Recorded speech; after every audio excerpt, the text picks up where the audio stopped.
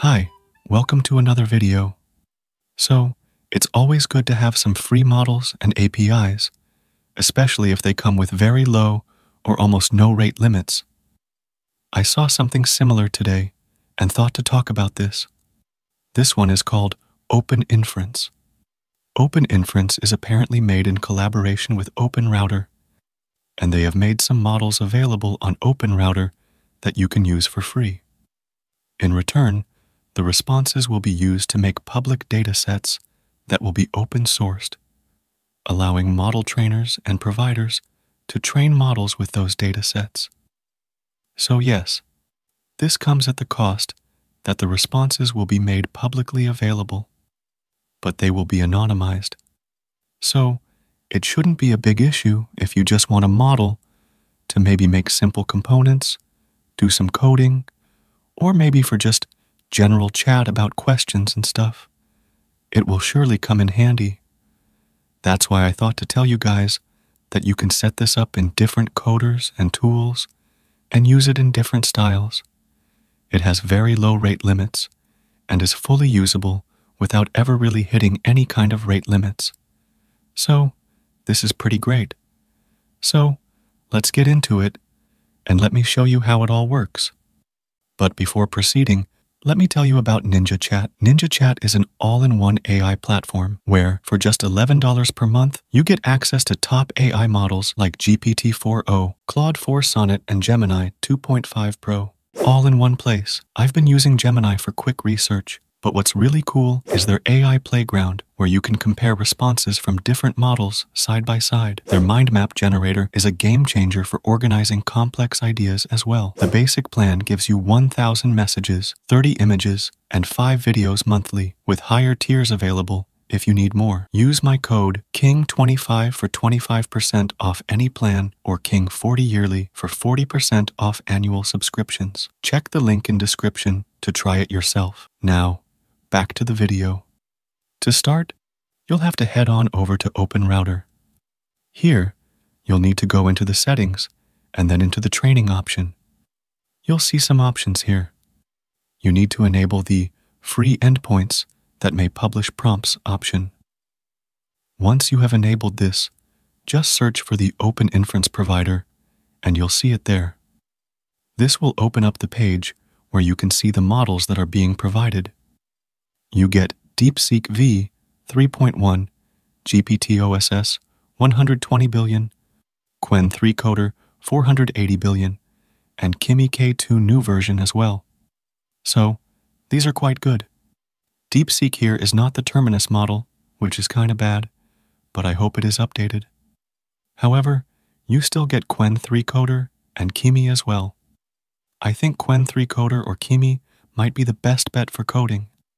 However, DeepSeek is also not bad. It's pretty good, even in the previous version. So yeah, it's kinda cool for sure. Now, you can use it quite easily in things like KiloCode, RooCode, and stuff like that. So, just head on over and you can easily install KiloCode, which is what I'll recommend. Then head on over to Settings, select the OpenRouter option, and enter your API key that you get from OpenRouter.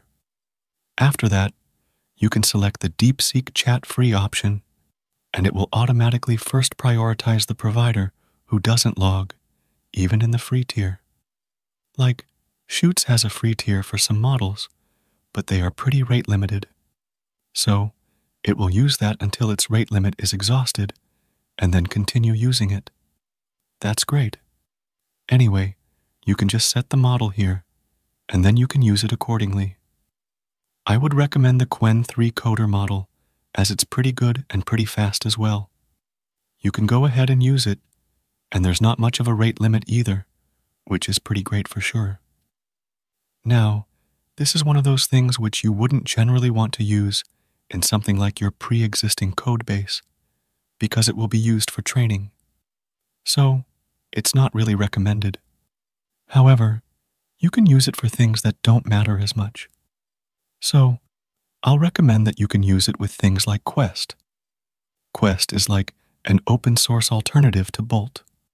I have a video on it, but what it basically does is allow you to make one-shot apps quite easily.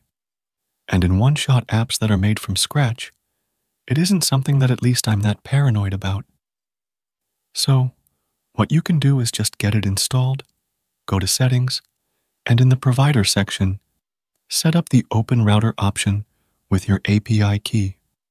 Then, you can select the free model as well, and you can go ahead and use it.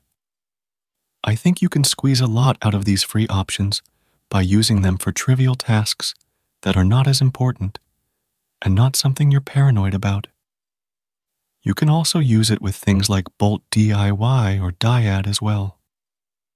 Dyad is a bit more fleshed out than Quest, but it's a little more memory hungry. So, it can come in handy there too. You can also set it up in some kind of chat interface as well. For example, I've been using one called January. So, we can just go there, configure Open Router, and then use it for simple chat as well. It comes in quite handy, like for doing some simple web searches or stuff like that. And you're also directly contributing to public data sets that will help out open model creators who don't have the resources to buy huge data sets like Anthropic, who had to pay a $1.5 billion settlement. So, yeah, this will come in handy for those model creators. That's majorly about it. You can go ahead and use it all you want to build stuff, do simple chat, and just use it in places where the responses don't matter as much if they become public. I mean, it's always great to have these free options in your arsenal, to use them in places where you don't really want to pay, or for just checking a model's performance.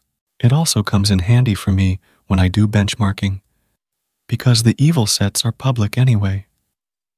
So yeah, it has a ton of use cases, and I just wanted to show it off and how you can use these as well. It's on Open Router. So, it shouldn't be an issue to use it as most of them support it.